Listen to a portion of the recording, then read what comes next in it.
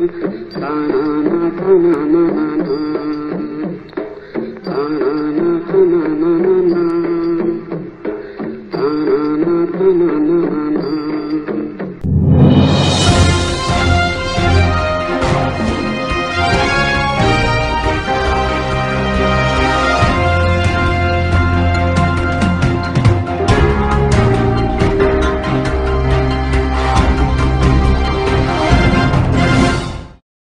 నమస్కారం బతుకమ్మ సమాచారానికి స్వాగతం తెలంగాణ రాష్ట్ర ప్రభుత్వం ధాన్యం కొనుగోలు కేంద్రాలను ఏర్పాటు చేయాలని రాష్ట్ర ముఖ్యమంత్రి కేసీఆర్ కు సిపిఐ రామగుండం నగర సహాయ కార్యదర్శి మధ్యల దినేష్ లేఖ ద్వారా కోరారు ఈ సందర్భంగా దినేష్ మాట్లాడుతూ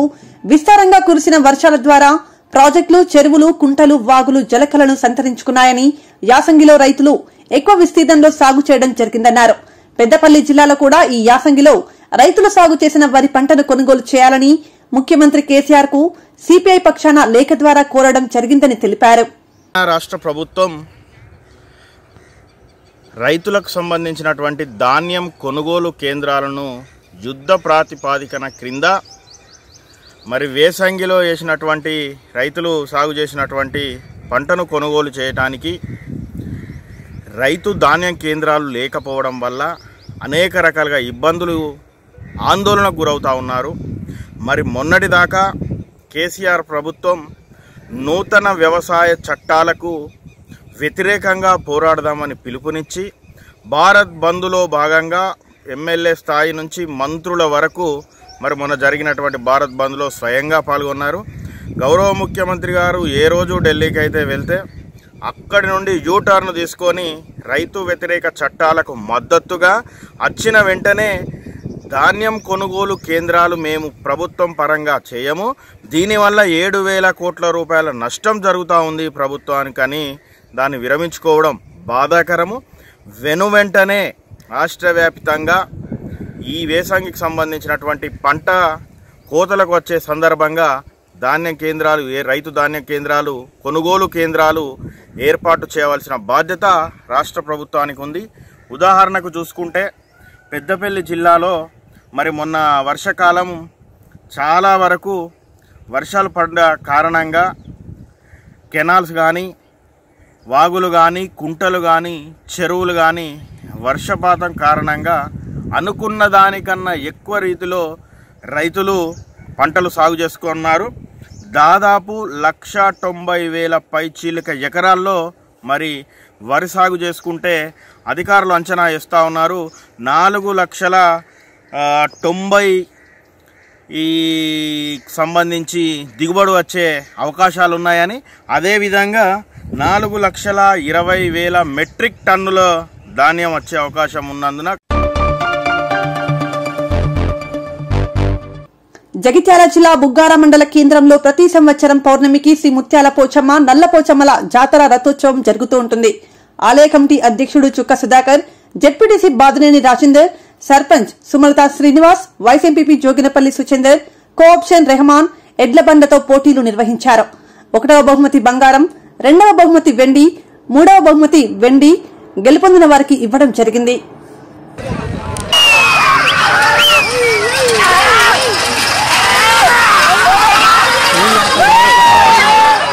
డిస్టిక్ మంచిర్యాల్ మేము పోయిన సంవత్సరం ఈ బుగ్గారం గ్రామంలో ఇళ్ల పోటీలో పాల్గొన్నాం ప్రథమ స్థానం దక్కింది ఈ బుగ్గారం గ్రామంలో ఈ పోచమ్మ సంబరాలలో మేము పాల్గొనడం మాకు చాలా సంతోషం బుగ్గారం మండల కేంద్రంలో శ్రీ ముత్యాల పోచమ్మ నల్లపోచమ్మ రథోత్సవ కార్యక్రమం ఎడ్ల బండిల పోటీలు కూడా నిర్వహిస్తాము ఇందులో భాగంగా బుగ్గారం మండల కేంద్రంలో ముత్యాల పోచవ నల్ల పోచవ ఎంతో దైవమైన దేవుడు గత పది సంవత్సరాల నుండి రథోత్సవం జరుగుతుంది ఐదు వేల మంది వరకు రెండు మంది పోటీ రథోత్సవానికి కూడా పది నుంచి పన్నెండు వేల మంది వరకు హాజరవుతుంది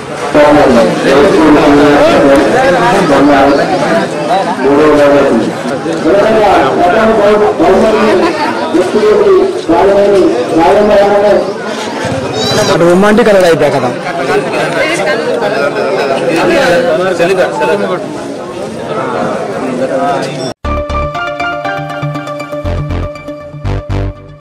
Gadwal MLA Bandla Krishnamohan Reddy KCR study circle పేరిట బడుగు బలహీన వర్గాలకు విద్యాభివృద్ధిలో పెద్దపీట వేస్తూ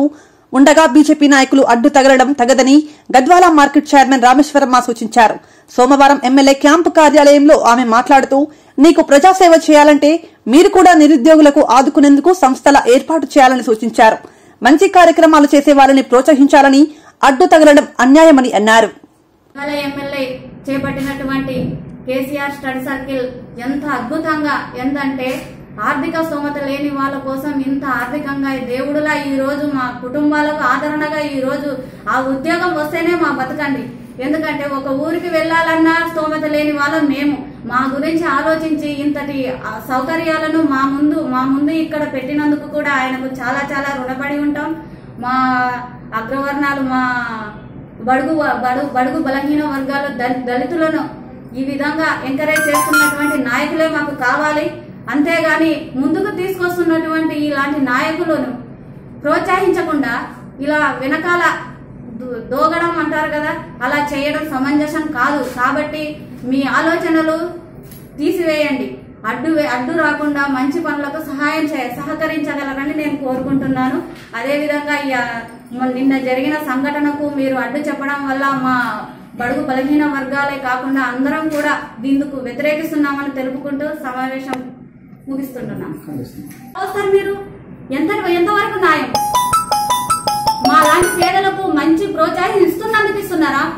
అడ్డుకుంటున్నారా చెప్పండి మీరే బీజేపీ నాయకులు మీరే చెప్పాలి ఎందుకంటే మాకు ఇట్లాంటి అవకాశాలు గతంలో కూడా మీరు ఇవ్వలేదు ఇచ్చిన వాళ్ళని ప్రోత్సహించరు మీరు ముందుకు రారు పెట్టండి మీరు ప్రవేశపెట్టండి మీరు సంస్థ ఈ ఉచిత శిక్షణ మళ్ళీ మీరు పెట్టండి మీరు ప్రవేశపెట్టండి అధికారులు ఉన్నతాధికారులను పిలిపించండి మోటివేషన్ కు పిలిపించండి పిలిపించి వాళ్ళకు కూడా ఇలాంటి శిక్షణ ఇవ్వండి మేము అప్పుడు ఎలాంటి ఇబ్బందరాలు పెట్టాం సమర్థ సమర్థవంతంగా ఉంటాం మేము కూడా అంతేగాని ఇలా మోటివేషన్ ఇవ్వడానికి వచ్చినటువంటి ఓ ఉన్నత అధికారిని ఇలా అడ్డుకోవడం సరైనది కాదు అగ్రవ ఈ సరైనది కాదని కూడా నేను సమావేశంలో తెలుపుకుంటున్నాను అదేవిధంగా ఇలాంటి అగ్రవర్ అగ్నవర్ణాల ఈ ఆధిపత్య ధోరణి మీకు సరికాదు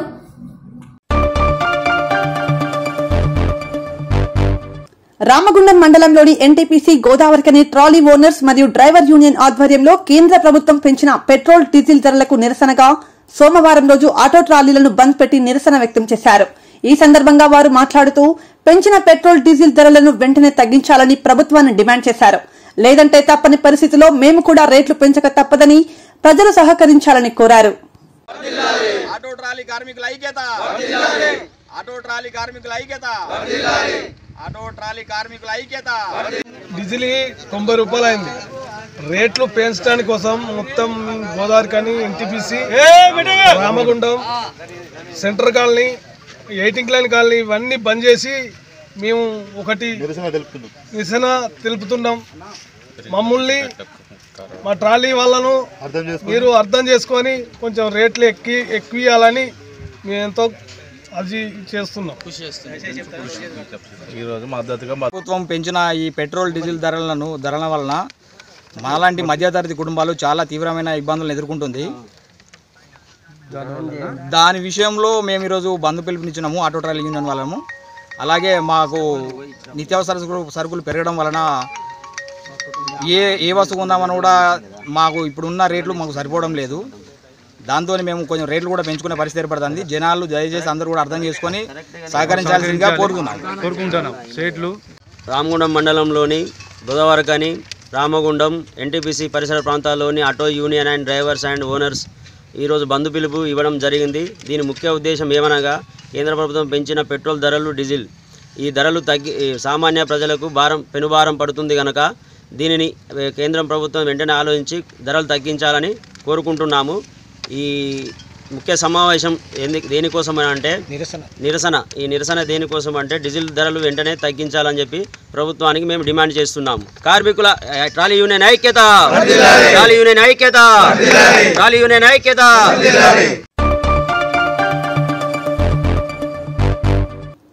రాజన్న సిరిసిల్ల జిల్లా వేములవాడ తెలంగాణ రాష్ట్రంలోని అతిపెద్ద ఆలయం పట్ల దేవాలయానికి వచ్చే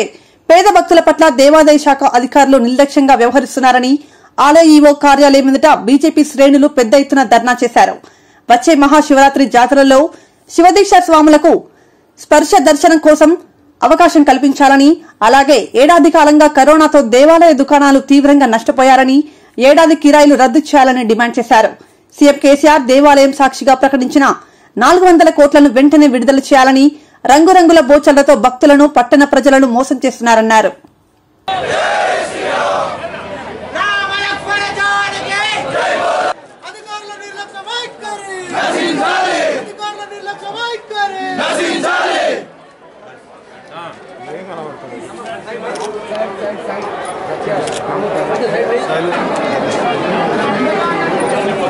రానా చూడు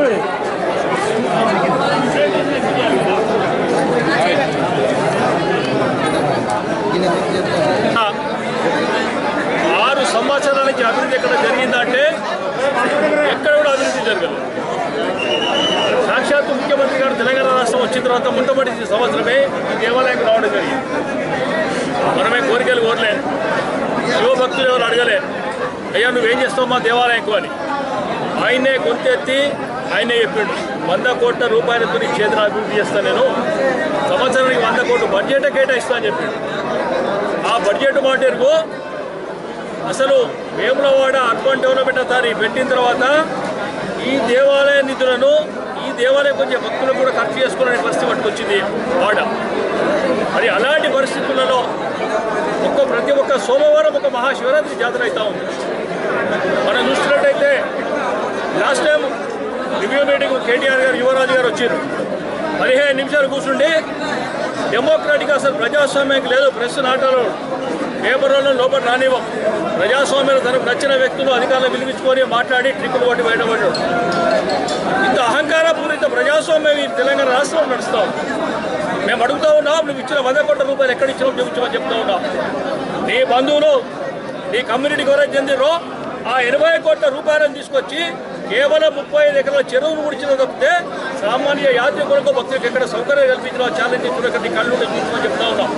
సరే వాళ్ళ కళ్ళకు కనిపిస్తూ ఉన్నాయి ఒక భజన బృందం ఉంది అవి వాళ్ళ కలర్ అని పింక్ కళ్ళు కళ్ళున్నోళ్లకు ఆ పింకు కన్నున్నకు మాత్రమే అభివృద్ధి కనిపిస్తూ ఉంది మనకు కనిపిస్తలేదు కనీసంగా మినిమం ఫెసిలిటీ మౌలిక వసతుల పట్ల పూర్తి ఏ దేవాలయ శాఖ పూర్తి స్థాయిలో విఫలమైంది స్థానిక ఎమ్మెల్యే గారు అసలు దేవాలయ అభివృద్ధి కోసం పట్టించుకుంటలేడు మేము మాట్లాడిన తర్వాత ఒక భజన బృందం ఆయన మాట్లాడితే రేపు ఇది చేసాం అది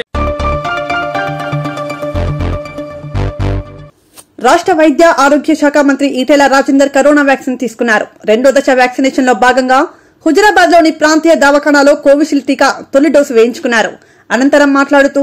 రాష్ట్రంలో కరోనా రెండో దశ వ్యాప్తి లేదని చెప్పారు అరవై ఏళ్లు పైబడిన వారితో పాటు దీర్ఘకాలిక వ్యాధిగ్రస్తులకు టీకా పంపిణీ చేస్తున్నామని తెలిపారు కరోనా వ్యాక్సిన్పై అపోహాలు వద్దని సూచించారు అర్హులైన వారంతా టీకా కోసం రిజిస్ట్రేషన్ చేసుకోవాలని సూచించారు అందుబాటులో ఉన్న దవాఖానాల్లో టీకా వేయించుకోవాలని కోరారు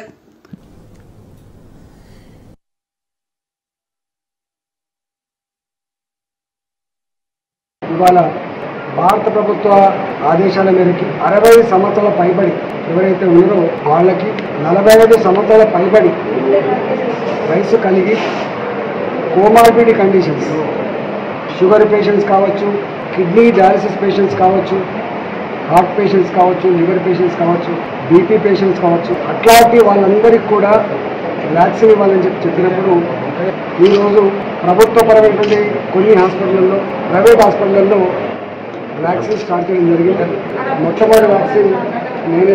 తీసుకోవడం జరిగింది మొత్తం మీద తెలంగాణ రాష్ట్రంలో ఇప్పటికీ సెకండ్ వేవ్ లాంటిది లేదు రోజు రోజు తగ్గుముఖం పట్టింది తప్ప ఎక్కడ కూడా అగ్రిమెంట్ అనే సందర్భాలు లేవు కాబట్టి ఈ వ్యాక్సిన్ తప్పకుండా ప్రజలకు ప్రొటెక్షన్ ఇస్తుందని ఈ వ్యాక్సిన్ తర్వాత తప్పకుండా కన్నా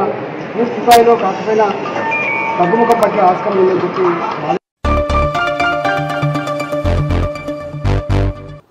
జిల్లాలోని సూర్యాపేట మండలం కేసారం గ్రామంలో నిర్వహించిన లింగమంతుల స్వామి జాతరలో మంత్రి జగదీష్ రెడ్డి పాల్గొన్నారు గత అర్ధరాత్రి దేవరపేటకు ప్రత్యేక పూజలు చేసిన మంత్రి ఆపై దేవరపేటను కదిలించే యాత్రను ప్రారంభించారు ఈ కార్యక్రమంలో ఎంపీ బడుగుల లింకయ్య యాదవ్ పాల్గొన్నారు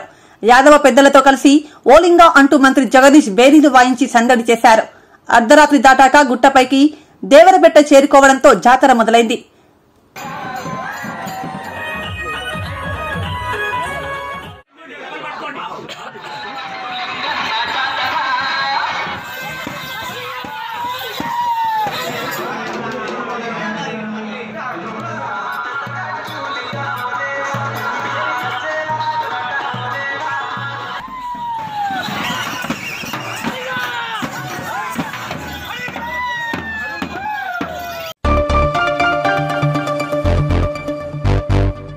రేణగుండ ఎయిర్పోర్ట్ లో హైటెన్షన్ నెలకొంది గంట సేపుగా టీడీపీ అధినేత చంద్రబాబు ఎయిర్పోర్ట్ లోనే నిరీక్షిస్తున్నారు లాంచ్ నుంచి బయటకు వెళ్లనీయకుండా చంద్రబాబును పోలీసులు అడ్డుకున్నారు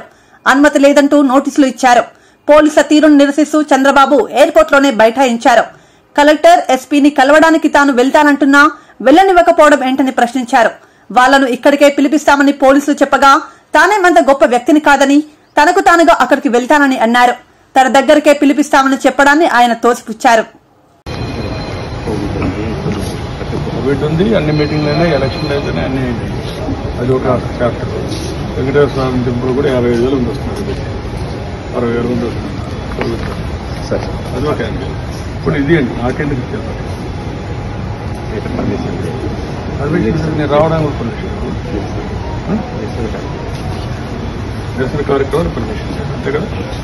నేను కలెక్టర్ని ఎస్పీని ఇక్కడ ఎస్పీని కావాలి చెప్పండి కన్ఫామ్ చేయండి నేను ఇక్కడ చేస్తున్నట్టు చెప్పనండి నేను చెప్పాలి కదా ఏం ఎందుకు చెప్పాలి కాదండి నేను ఎందుకు వచ్చాను చెప్పాలి కదా నేను నన్ను అరెస్ట్ చేసి తెచ్చుకోండి కొట్టేయండి లేమంటే మీరు ఏంటిది వాట్ ఈస్ దౌర్జన్యం దౌర్జన్యం కదా ఫండమెంటల్ రైట్ లేదా నాకు కలెక్టర్ కలవడానికి వాట్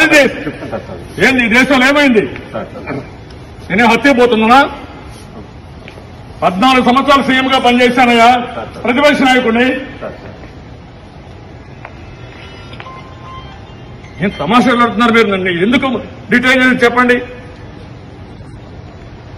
నువ్వు పర్మిషన్ లేదు నేను ఎస్పీ తిరిగిపోతాను కాదండి ఎవరన్నా పిలిపించడానికి నన్ను నేను ఇక్కడే కూర్చుంటాను నేను అంత గొప్ప వ్యక్తి కాదు నేను ఎక్కడికి వెళ్తానండి నేను ఎందుకు నా దగ్గరికి నా దగ్గరికి నా దగ్గర నాకు ఆనర్ వద్దండి ప్రజాస్వామ్యాన్ని కాపాడండి దట్ ఈస్ ఆనర్ దానికోసం నా పోరాటం నాకెందుకు నన్ను రెస్పెక్ట్ చేయాల్సిన పనులు నాకెందుకు రెస్పెక్ట్ బాగానే ఇచ్చారు కదా బ్రహ్మాండాన్ని రెస్పెక్ట్ ఇచ్చారు మీరంతా ఇంతమంది పోలీసులు పెట్టినంత రెస్పెక్ట్ చేశారు కదా నేను బ్రేట్ కలెక్టివ్నెస్ పిల్ గలస్తారంటే కూడా ఏడు గుర్చాలి మేరని చెప్పాలి చంద్రకట్యం వా బందిస్తా కడి పిల్పిస్తారండి ఆ దర్కె ఎందుకండి అంటే నేను దుప్పడకనే ఆఫీస్ కదా ఆ దర్కె అన్న నేను పోపడనక ఇక్కడ తెలుత కపతాల తెలియనిది ఇది సారా పో అవసరం మీరు కనుక్కోండి అంతా ఇక్కడే కూర్చోండి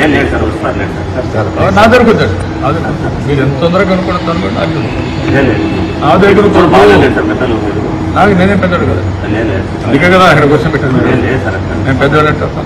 నాకు అవసరం లేదు చెప్పండి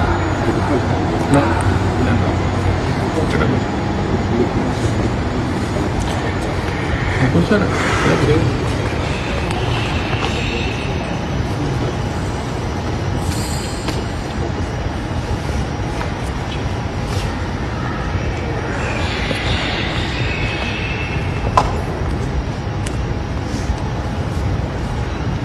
చెప్పి కలెక్టర్ ఎప్పుడు ఇస్తారు టైం వరకు అందరూ ఇక్కడ కూర్చుంటాం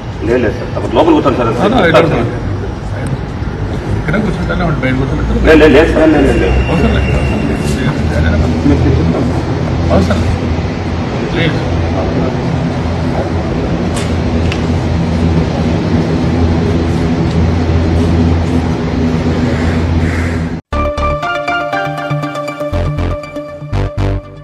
దక్షిణ కాశీగా వీరాచిల్లుతున్న వేములవాడ శ్రీ రాజరాజేశ్వర స్వామి సన్నిధానం ఈ రోజు సోమవారం సందర్భంగా భక్తులు స్వామివారి దర్శనం కోసం తరలివచ్చి సేవలో తరించారు భక్తులు అధిక సంఖ్యలో రావడంతో స్వామివారి దర్శనం కోసం గంటల తరబడి వేచి చూశారు ముందుగా స్వామివారికి ఇష్టమైన కోడె మొక్కులు చెల్లించుకున్నారు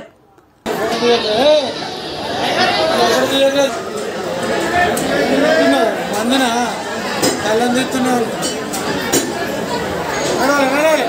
Hadi, hadi.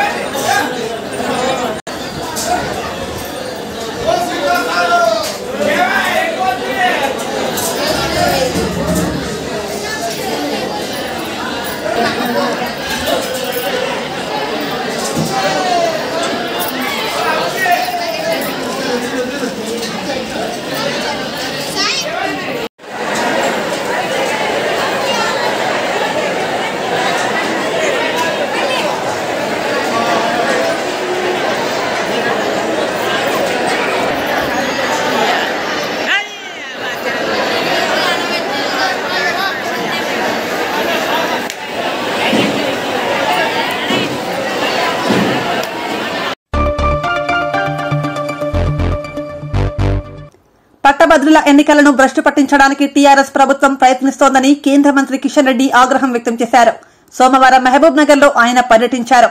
పర్యటన అనంతరం మాట్లాడుతూ టీఆర్ఎస్ ప్రభుత్వం వచ్చాక చట్టసభలు నిర్వీర్యం అయ్యాయని ఆరోపించారు తెలంగాణ ప్రజలు మార్పు కోరుకుంటున్నారని సీఎం కేసీఆర్ కు అభద్రతా భావం పెరిగిందని విమర్శించారు పాలమూరు నుంచే చేపడతాను కాబట్టి ఈ ఎన్నికల ప్రచారం కూడా పాలమూరు నుంచే ప్రారంభించాలనేటువంటి దృక్పథంతో తమిళనాడు నుంచి ఈరోజే హైదరాబాద్ చేరుకొని పాలమూరుకు రావడం జరిగింది పట్టభద్రులో నియోజకవర్గాల ఎన్నికలను కూడా అధికారంలో ఉన్నటువంటి టీఆర్ఎస్ ప్రభుత్వము భ్రష్టు పట్టించేటువంటి ప్రయత్నం చేస్తూ ఉన్నారు ఇటీవల జరిగినటువంటి హైదరాబాద్ జిహెచ్ఎంసీ ఎన్నికలు మనం చూశాము ఏ రకంగా నిస్సిగ్గుగా అధికార దుర్వినియోగం చేసి ఆ యొక్క ఎన్నికలలో గెలిచేటువంటి ప్రయత్నం ప్రభుత్వ ధనాన్ని సుమారు తొమ్మిది వందల కోట్ల రూపాయలు ఏ రకంగా టీఆర్ఎస్ కార్యకర్తలు వరద బాధితులకు పంపిణీ చేస్తామనేటువంటి నెపంతో దోచుకున్నారో మనం చూశాము ఈ ఎన్నికల్లో కూడా స్వయంగా ముఖ్యమంత్రి గారు ప్రగతి భవన్లో కూర్చొని అధికారులకు ఆదేశాలు ఇస్తూ ఏదైనా సరే టీఆర్ఎస్ గెలవాలనేటువంటి దృక్పథంతో అనేక రకాలుగా అధికార దుర్వినియోగానికి పాల్పడతా ఉన్నారు గతంలో పట్టభద్రుడు నియోజకవర్గాల ఎన్నికలంటే మేధావులు విద్యావంతులు వాళ్ళకి ఆలోచనకే వదిలేసేటువంటి వాళ్ళం కానీ ఈరోజు ముఖ్యమంత్రి కుటుంబం ఈ ఎన్నికలను కూడా సాధారణ ఎన్నికలగా పెద్ద ఎత్తున డబ్బు ఖర్చు పెట్టడం అధికార దుర్వినియోగానికి పాల్పడడం ఇది ఏమాత్రం జోగులాంబ గద్వాల జిల్లా గద్వాల పట్టణంలో బీజేపీ జాతీయ ఉపాధ్యక్షురాలు డీకే అరుణ మీడియా సమావేశం ఏర్పాటు చేసి మాట్లాడుతూ ఎమ్మెల్సీ ఎన్నికల నేపథ్యంలో బీజేపీ పార్టీ ఎమ్మెల్సీ రామచంద్రరావును గెలిపించాలని బీజేపీ కార్యకర్తలకు జాతీయ ఉపాధ్యక్షురాలు డీకే అరుణ దిశానిర్దేశం చేశారు నిరుద్యోగులకు నిరుద్యోగ భృతి ప్రభుత్వ ఉద్యోగులకు పీఆర్సీ ఇస్తామని హామీలు ఇచ్చి నెరవేర్చని పార్టీ ఏదైనా ఉందంటే తెరాస పార్టీ అంటూ విమర్శించారు తెలంగాణ రాష్ట్రంలో ప్రజల ఆకాంక్షల మేరకు ఈరోజు పాలన అందించినటువంటి పాలకుడిగా ఒక నియంత నియంత పొగలతో ఒక నియంతృత్వ పొగలతో ఒక నిరంకుశ పాలన అందిస్తున్నటువంటి కేసీఆర్ యొక్క పాలన అంతం జారని ప్రజలంతా పంతం పట్టు ఎదురు చూస్తున్నటువంటి నేపథ్యంలో దుబ్బాక జిహెచ్ఎంసీ ఎన్నికల స్ఫూర్తితో మరి యొక్క రెండు గ్రాడ్యుయేట్ ఎమ్మెల్సీ ఎన్నికల్లో కూడా బీజేపీని గెలిపించాలా బీజేపీ అభ్యర్థులు గెలవాలని ప్రజలు కోరుకుంటున్నటువంటి కోరికలను మరి తప్పకుండా పట్టభద్రులు నిజం చేస్తారని చెప్పి సందర్భంగా ఆశిస్తూ రెండు వేల ఇరవై మూడులో బీజేపీ పార్టీ అధికారంలోకి రావాలని ఆశిస్తున్నటువంటి ప్రతి ఒక్క కార్యకర్తలు ప్రజలు కూడా ఈ ఎన్నికల్లో మీ బంధువులు మీ మిత్రులు పూర్తి స్థాయిలో పూర్తి స్థాయిలో వారు వారి బాధ్యతను నిర్వహించారు నిర్వర్తించారు శాసన మండలిలో శాసన సభ్యుడిగా శాసన మండలి సభ్యుడిగా తెలంగాణ రాష్ట్రంలో ప్రజలు ఎదుర్కొంటున్నటువంటి టీఆర్ఎస్ పార్టీ ఇచ్చిన హామీలు నెరవేర్చినటువంటి అనేక అంశాలపైన వాళ్ళు శాసన మండలిలో తమ గొంతెత్తి ఇప్పించారు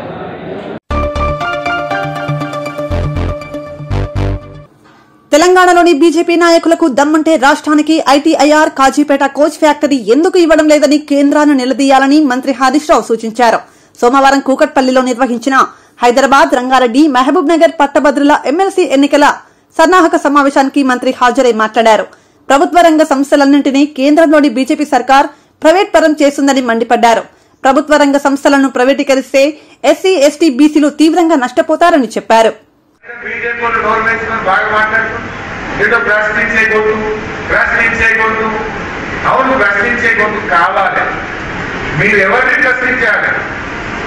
మా కు వచ్చిన ఐటీ ఏరియాను ఎందుకు రద్దు చేసావో కేంద్ర ఐటీ శాఖ మంత్రిని ప్రశ్నించండి మీరు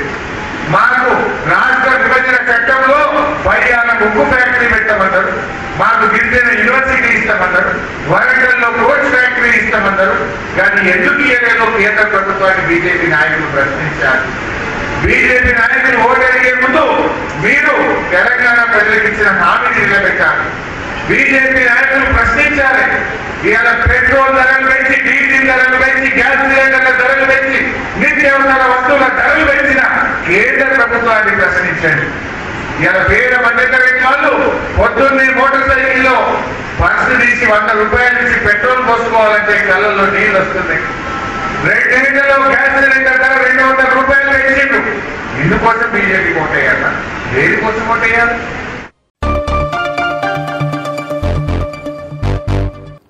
రేణిగుంట ఎయిర్పోర్ట్లో టీడీపీ అధినేత చంద్రబాబును పోలీసులు అడ్డుకోవడంపై ఆ పార్టీ కీలక నేతలు కార్యకర్తలు వీరాభిమానులు తీవ్ర ఆగ్రహం వ్యక్తం చేస్తున్నారు ఇవాళ ఉదయం నుంచి జరిగిన ఈ మొత్తం వ్యవహారంపై టీడీపీ రాష్ట్ర అధ్యక్షుడు అచ్చెన్నాయుడు స్పందించారు విశాఖలో మీడియాతో మాట్లాడిన ఆయన నోటీస్ చూసే పోలీసులు బుర్ర పెట్టి పనిచేస్తున్నారా లేదా అనేది అర్థం కావడం లేదన్నారు ఎంత సిగ్గంటే పనికి మాలిన వ్యక్తి ఒక ఆఫీసులో గా పనిచేసిన వ్యక్తి రాష్ట్రాన్ని శాసిస్తున్నాడు పోలీస్ వ్యవస్థను శాసిస్తున్నాడు ఇంత దౌర్భాగ్యమైన పరిస్థితి ఈ రాష్ట్రంలో పోలీస్ వ్యవస్థకు వచ్చిందంటే చాలా బాధ ఆవేదన కలుగుతుంది ఇప్పటికైనా సరే బేషరతుగా చిత్తూరు ఎస్పీ తిరుపతి ఎస్పీ చంద్రబాబు నాయుడు క్షమాపణ చెప్పి ఆయన ఏ పర్పస్ గురించి తిరుపతి చిత్తూరు వెళ్ళాలని ప్రయత్నం చేస్తున్నారో దాన్ని మీరు ముందుకు సాగనించాలి ఇప్పటికే తెలుగుదేశం పార్టీ ఒక పిలిపిచ్చాం ప్రజాస్వామ్యవాదులందరూ కూడా ఇదేదో ఒక రాజకీయ పార్టీ ఒక చంద్రబాబు నాయుడు పనో ఒక అచ్చెన్నాయుడు పనే కాదు రాజకీయంలో ఉన్న ప్రతి ఒక్క వ్యక్తి ప్రజాస్వామ్యంలో ఉన్న ప్రతి ఒక్క వ్యక్తి దీన్ని తీవ్రంగా ఖండించాలి ఇటువంటి కార్యక్రమాలు ఎప్పుడైనా చేశామా ప్రసిద్ది చెందిన ఏడుపాయల పుణ్యక్షేత్రం జాతర ఏర్పాట్లు మీడియా సమావేశంపై విలేకరులతో ఎమ్మెల్యే పద్మా దేవేందర్ రెడ్డి మాట్లాడుతూ ఈ నెల మూడో తేదీన ఏడుపాయల దేవస్థానం వద్ద పోలీసులకు సంబంధించి అవుట్పోస్ట్ ప్రారంభిస్తామని అన్నారు గౌరవ ముఖ్యమంత్రి కేసీఆర్ ఒక కోటి రూపాయలు మంజూరు చేశారని తెలిపారు భక్తులకు అందుబాటులో త్వరలోనే యజ్ఞశాల షాపింగ్ కాంప్లెక్స్ నిర్మించబోతున్నామని అన్నారు అనంతరం జాతర పోస్టర్ ను ఎమ్మెల్యే ఆవిష్కరించారు ఈ కార్యక్రమంలో ఆలయ EO Sara Srinivas Medak municipal chairman Chandrapal తదితరులు పాల్గొన్నారు జాతర శివరాత్రి జరుగుతున్న సందర్భంలో ఏడుపాయల అమ్మవారి యొక్క పోస్టర్ రిలీజ్ చేసుకోవడం జరిగింది అదేవిధంగానే గౌరవ ముఖ్యమంత్రి గారు మరి యథావిధిగా గతంలో మాదిరిగానే ఏడుపాయల జాతర నిమిత్తము ఏడుపాయల అమ్మవారి జాతర ఘనంగా జరగాలనే ఉద్దేశం కొద్దీ మరి ముఖ్యమంత్రి గారిని కలిసిన నేపథ్యంలో ఒక కోటి రూపాయలు జాతర నిమిత్తం కూడా మంజూరు చేయడం జరిగింది దానికి సంబంధించిన జీవో కాపీని కూడా మరి ఈరోజు పొందుపరచడం జరుగుతూ ఉంది అదేవిధంగా గతంలో అక్కడ రోడ్డు పొత్తంశెట్పై నుండి రోడ్డు కావాలి బ్రిడ్జ్ కావాలి దానికి సంబంధించిన రివైజ్ ఎస్టిమేషన్స్ కూడా సబ్మిట్ చేసిన సబ్మిట్ చేసిన తరుణంలో అక్కడ రోడ్డు అదేవిధంగా దానికి bridges approach road CC road చెట్పల్లికి సంబంధించిన ముప్పై ఒక్క కోట్లను పూర్తిగా కూడా మంజూరు చేయడం జరిగింది వాటిని మరి ఇప్పుడు కన్స్ట్రక్షన్ రోడ్ కూడా కన్స్ట్రక్షన్ అవుతా ఉంది అదే సందర్భంలో అక్కడ ఒక అవుట్ పోస్ట్ కావాలని చెప్పి గతంలో చాలా సందర్భాలు మనం రిక్వెస్ట్ చేసినాం మరి ఈసారి ఎల్లుండి మూడో డేట్ నాడు పది గంటలకు అక్కడ అవుట్ పోస్ట్ను కూడా మరి ప్రారంభించుకోబోతా ఉన్నాం ఎందుకంటే దాదాపు మన జిల్లాకే కాక హైదరాబాద్ నుండి పక్క రాష్ట్రాల నుండి కూడా లక్షల మంది జనాలు ప్రజలు మరి అమ్మవారిని దర్శించుకోవడం జరుగుతుంది శివరాత్రి సందర్భంగా కాబట్టి అక్కడ ఎటువంటి అవాంఛనీయ సంఘటనలు జరగకుండా చూసుకోవడం కోసం పోలీస్ బాగా పనిచేస్తూ ఉన్నారు కానీ రెగ్యులర్గా కూడా ప్రతి సండే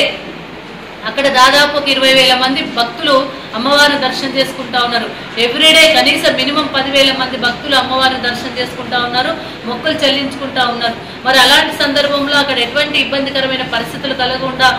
అనే ఉద్దేశం కొద్ది అక్కడ ఒక అవుట్ పోస్ట్ కావాలని చెప్పేసి కోరడం జరిగింది దానిలో భాగంగానే మరి చాలా రోజులు ఎదురు చూస్తున్న అవుట్ పోస్ట్ కూడా మనము